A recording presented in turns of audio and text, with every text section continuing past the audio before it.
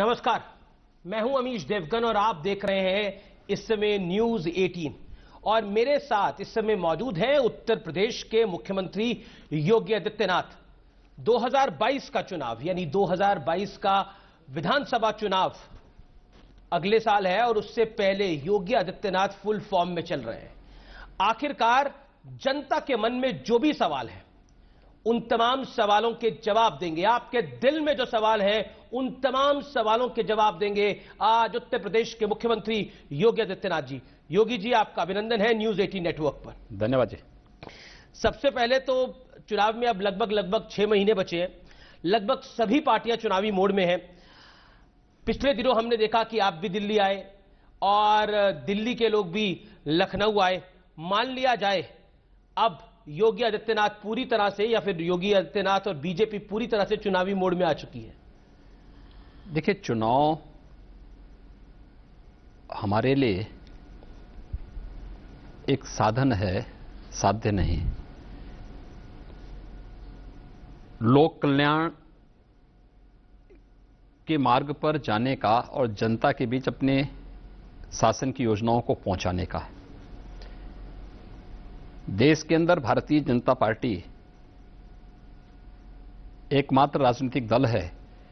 जी। जिस दल ने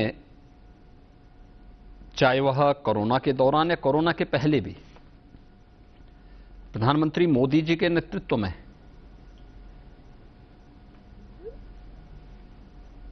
लोक कल्याण को सर्वोपरि दिया दल से ऊपर देश। और इस दिश से जो भारतीय जनता पार्टी का अभियान रहा है वह पिछले 16 महीनों से कोरोना महामारी के दौरान भी देखा गया। अकेला राजनीतिक दल है जिसने कहा सेवा ही संगठन। जी। यानी हमें बूथ प्रबंधन नहीं देखना बूथ का हमारा जो कार्यकर्ता है वो सेवा के साथ जुड़े। हमारा जो पदाधिकारी है किसी भी स्तर का वो सेवा के साथ जुड़े। जनप्रतिनिधि हर स्तर का वो जन जन सेवा के साथ जुड़े। इस महामारी के दौरान जनता की सेवा करे। तो हमारे लिए हर दिन इलेक्शन है और हमारे लिए हर दिन लोक कल्याण का है, जिसमें हम लोग हर पदाधिकारी, हर कार्यकर्ता अपने स्तर पर और केंद्र और प्रदेश सरकार की योजनाओं को आम जनता तक पहुंचाते हैं। और हम लोग पहले भी तैयार थे आज भी तैयार है। मैं ये सवाल इसलिए आपसे पूछ रहा हूँ कि चुनाव से ठीक पहले उत्तर प्रदेश में जनसंख्या नीति लाने की तैयारी शुरू हो गई है। इसकी ज़रूरत इस समय क्यों पड़ी? देखिए हर राज्य को अपने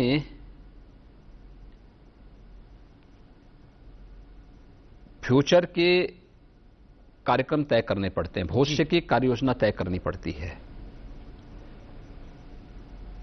2016 में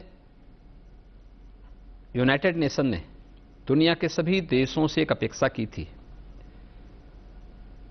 कि सतत विकास के लक्ष्यों को प्राप्त करने के लिए, यानी सस्टेनेबल डेवलपमेंट गोल्स को अचीव करने के लिए 16 गोल्स तय किए थे, जिसमें गरीबी का सर्वथा उन्मूलन हो, हर एक व्यक्ति को शिक्षा मिल सके, हर एक व्यक्ति को बेहतर स्वास्थ्य की सुविधा मिल सके, नौजवानों को रोज़गार की सुविधा मिल सके जल संसाधन का बेहतर उपयोग हो सके।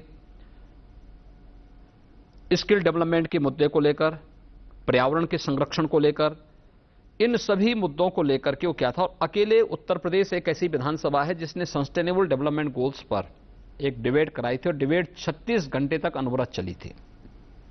रिकॉर्ड भी है वो रिकॉर्ड भी है और उस डिबेट के कारण हमने फिर मंत्री समूह बनाए थे। जी। अंतर्विभागत समन्वय के भी और उन सभी को फॉलोअप करने के लिए। जो चीज़ें सामने आई थी, उसमें ये बात आई थी कि डेवलपमेंट के लिए कुछ चीज़ें हमें देखनी पड़ेंगी। अगर यूपी की हम बात करते हैं तो हम नेशनल एवरेज से अभी भी बहुत सारे मुद्दों पर पीछे हैं। जैसे 2016 के डाटा अगर हम देखेंगे, मातृ मृत्यु दर शिशु मृत्यु दर जो नेशनल एवरेज है उससे पीछे रहे। यद्यपि चार वर्षों में उसमें काफ़ी सुधार करने का प्रयास हुआ लेकिन अभी भी हमें जो इंटरनेशनल स्टैंडर्ड हैं उसको अचीव करने में समय लगेगा उसके कारकों को ढूंढना और फिर उसके अनुसार रणनीति बनाना। जी। और उसी के तहत हम लोगों को 2021 से लेकर 30 के बीच की आगामी 10 वर्षों की एक जनसंख्या नीति घोषित करनी पड़ी।